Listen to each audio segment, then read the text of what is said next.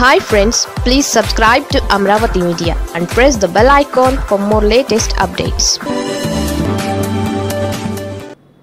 exit polls చెప్పింది నిజమవుతుందా? ఆంధ్రప్రదేశ్ ఎన్నికలు ముగిశాయి.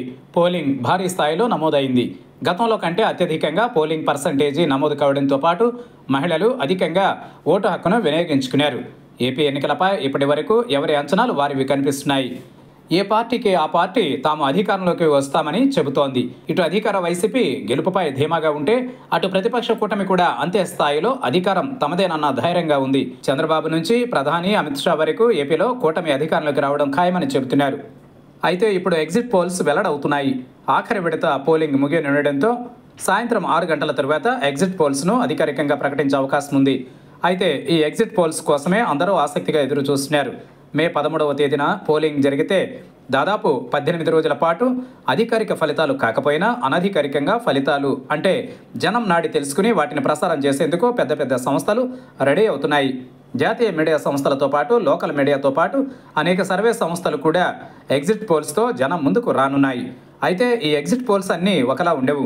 పోలింగ్ ఒకే రోజు జరగడంతో వివిధ ప్రాంతాలలో ప్రజల మూడ్ను తెలుసుకుని వాటిని పరిగణలోనికి తీసుకుని ఒక అంచనా మాత్రమే వేస్తారు. అందుకే రాజకీయ పార్టీలు వీటిని ఎగ్జాక్ట్ పోల్స్ కాదని అంటుంటాయి. కానీ అంత తేలికగా కొట్టిపారేయడానికి కూడా వీల్లేదు. ఎందుకంటే గత ఎన్నికలలో అంటే కర్ణాటక తెలంగాణ శాసనసభ ఎన్నికలలో వెలువరించిన ఎగ్జిట్ పోల్స్ చాలా వరకు నిజమయ్యాయి. వారు చెప్పిన అంకెలకు దరిదాపుగా వచ్చాయి. ఎక్కువ సంస్థలు అంచనా వేసినట్లే కర్ణాటక తెలంగాణలోనూ కాంగ్రెస్ అధికారంలోకి వచ్చింది.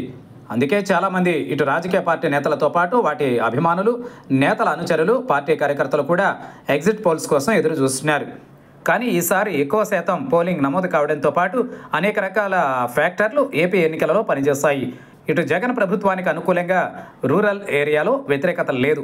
అలాగే పట్టణ ప్రాంతాల్లో టీడీపీకి బలమైన ఓటు బ్యాంక్ తయారైందంటారు. అయితే అర్బన్ ఏరియాలో తక్కువ ఓటింగ్ జరగడం రూరల్ ఏరియాలో మహిళలు ఎక్కువగా పాల్గొనడం సంక్షేమ పథకాలు పనిచేశాయా? లేక కులం పనిచేసిందా? ప్రభుత్వంపై వ్యతిరేకత ప్రజల్లో అంతర్లీనంగా ఉందా? అన్న విషయాలు మాత్రం ఎగ్జిట్ పోల్స్కు కూడా అందకపోవచ్చన్న అంచనాలు వినపడుతున్నాయి. అయినా సరే ఫలితాలకు ఇంకా నాలుగు రోజుల సమయం ఉన్నప్పటికీ ముందుగా వచ్చే ఎగ్జిట్ పోల్స్ కోసం కళ్ళు కాయలు కాచేలా ఎదురు చూస్తున్నారు.